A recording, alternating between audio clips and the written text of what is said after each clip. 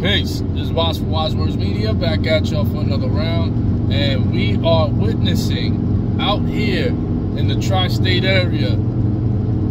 If you're a football fan, especially a Giants fan, something that has a real good feel to it, nice story, and that is none other than the Tommy DeVito story. Here's a guy that lives at home with his parents. Mom still does his laundry and he was on the practice squad. You know, this is a guy that he wasn't even allowed to throw a pass when they played the Jets back in October. And here he is. Since the starter, Daniel Jones, and the backup, Tyrod Taylor, went out, he has been given the reins and he has made the most of this opportunity. He's gotten consecutive wins. And this past week, this Monday night game that he played against Green Bay, that was no, they were no slouches. You know, Green Bay came in winning four straight.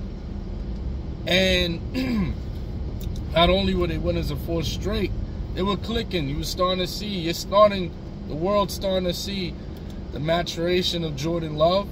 He's starting to come of age, filling into his shoes right now and he's been looking good. He's had Green Bay playing some good football, but the New York Giants have put a halt to it, and Tommy DeVito has led the drive. Um, it's definitely a feel-good story. It's reminiscent somewhat of Linsanity a little bit, but uh, with a with some Italian flavor to it. But um, other than that, it's a real good feel good story. He's actually got the Giants in, in, in a position where they're mathematically still alive to make the playoffs. Uh, personally, I hate to say it, but I, I don't feel they can make it because they play Philly, who's been slumping. They don't look like the same Eagles that went to the Super Bowl last year.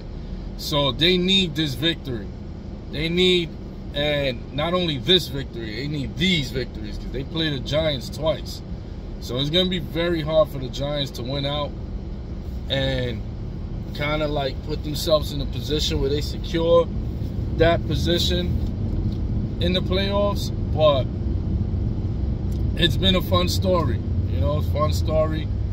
It's, again, reminiscent of Jeremy Lin, somebody that came from nowhere at the end of the bench and is given an opportunity due to injuries and making the most of it and making headlines with it. It's a fun story. You see the family rejoicing. You see um, the fans are just alive again. At one point, I wasn't even watching the Giants anymore. I was like, man, I'm going to stick to Red Zone on Sundays. But, man, you know, after that Jets debacle, I, I tuned out. But I, have been back in for the past couple games, and the kid looks good. He looks good. He's what I do like about him more than I like of Daniel Jones, or what I would wish Daniel Jones would implement a little more of this skill set, or at least have it, because you don't know if Jones has it. But is pocket awareness. Like Daniel Jones, some some of those sacks that he received, yes, we could blame the O-line. The O-line play has been terrible. But some of those sacks were by way of his doing, by not having the pocket awareness and doing what doing what Bart Scott calls burping the baby, just holding the ball, trying to read your progressions when you're not aware of what's coming what's coming at you because you're so focused down the field you see this kid, Tommy DeVito, has really good pocket awareness. He tends to like he's looking down the field, but it's almost it's it's again pocket awareness. He can almost sense that there's a defender coming, and he starts to scramble at that instant. Once that defender gets past his lineman, you see DeVito scramble, and he's like he's making a quick decision or throwing it out or running, scrambling with it. So that that is a skill set that I wish Daniel Jones would implement more. But that, but Tommy DeVito has it. It's innate for him because for him to be doing this, playing like that at this level, this early, in just a few games in, that's something that's innate. That's a very good skill set that he has. So, you know, it's a, it's a good story, and you know what? He also, in addition to balling out the way he has, he won NFC Player of the Week. Good job, man. Good job, Tommy Cutlets. It's it's been it's been a fun ride, been fun to watch, and that man definitely deserves to be at least at the at the very bare minimum a backup in this league. He's earned that.